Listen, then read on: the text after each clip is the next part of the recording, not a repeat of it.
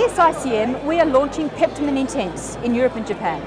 This is a specialised enteral nutrition formula designed to help the ICU clinician meet the protein and energy needs of the ICU patient whilst facilitating glucose control. Meeting these challenges with standard formula in the ICU has long proved difficult. Because of the protein needs of the ICU patient, it's easy to overshoot on calorie and carbohydrate load. This puts the patient at risk of hyperglycemia, where there's a strong correlation between increased morbidity, such as infection, and mortality.